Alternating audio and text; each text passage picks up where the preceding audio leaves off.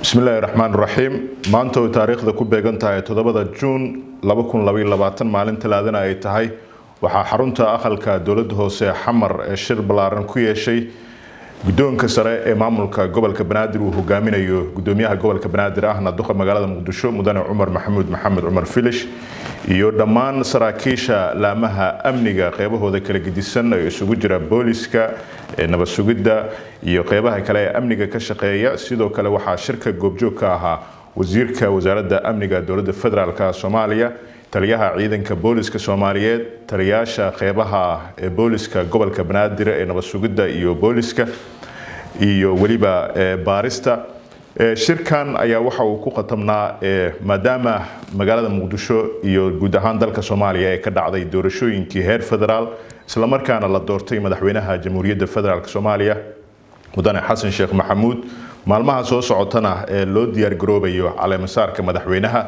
In loo diyaargaroobo soo dhoweynta wufuudda kala gedisan ee heer caalami ah ee soo gaaraya magaalada muqdisho kuwaasoo ka qaybgalaya munaasabadda caleemasaarka madaxweynaha sidoo kale ee loo diyaargaroobo sugidda amniga guud ee caasimadda magaalada muqdisho maadaama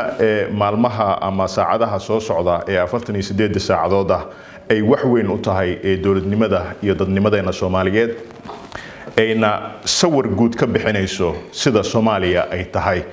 sidaa daraaddeedna ee maanta lagu gurfeeyey shirkani in maalinta soo socota ee ku beegan sagaalka la filayo in caleemasaarka madaxweynaha jamhuuriyadda federaalk soomaaliya uu ka dhaco dalka soomaaliya amniga caasimadda iyo bilicdeedaba uu yahay mid ka saraysa sidii hore loogu bartay. Islamarkaana caalamka wufuuddooda ka kala socota imaanaysa magaalada muqdisho ay ka qaataan sawir ah in soomaaliya aysan ahayn sida ay warbaahinada qaarkood ay u faafiyaan sidaa daraaddeed shirka waxaa sidoo kale fariin loogu diray shacabka qeybahooda kala gedisan ee ku dhaqan ee gobolka banaadir in maalmaha soo socda oo culeysyo amni imaan doona ay sidoo kale muujiyaan dulqaad ku salaysan haddii ay arkaan culeysyo amni inay u dulqaataan maadaama maalinta sagaalka bisha maalinta khamiista ah ee magaalada muqdisho ee ka dhici doonto caleemasaarka madaxweynaha jamhuuriyadda federaalk soomaaliya.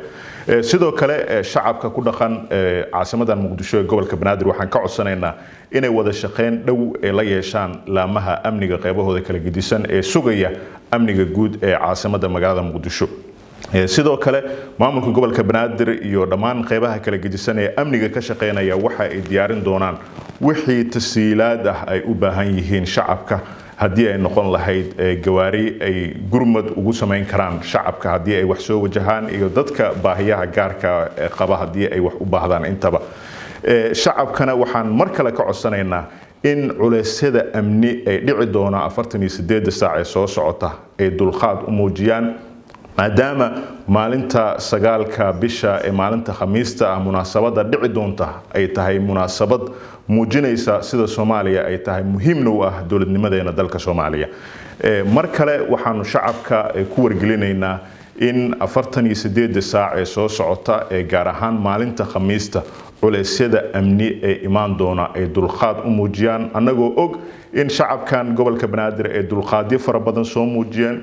culeysyo badan oo dhanka amniga ay la soo kulmeen mararka qaarkood ay dhacdo in waddooyinka caasimada la xiro iyadoo la sugayo amniga maadaama caasimad ay tahay wufuud heer caalami ah oo kala gedisan oo heer madaxweyneyaal ay soo gaarayaanna. Magaalada muqdisho maalintaas ay ka gedisnaan doonto sida amniga loo sugayo sidaa daraaddeedna ay bulshada muujiyaan adkaysi iyo dulqaad idinkoo mahadsan shirkadda hormuud telecom waxay macaamiisheeda u samaysay qiimiyo dhimis ballaaran xirmooyinka internetka iyo kaarka ku hadalka ee adeega anfac balaas xirmada cusub ee labaatan iyo shanta senti waxaa laga dhigay afar boqol oo m b iyo toban daqiiqo oo ku hadalka gudaha ah halka xirmada bointy five kana laga dhigay siddeed boqol iyo konton m b iyo soddon daqiiqo oo ku hadalka gudaha ah. Xirmada halka doolar waxaa laga dhigay laba g b oo internet data ah boqol daqiiqo oo ku hadalka gudaha ah iyo konton fariin qoraaleed. Laba doolar waxaad ku heli kartaa shan g b oo data ah laba boqol oo daqiiqo oo ku hadalka gudaha ah iyo boqol fariin qoraaleed.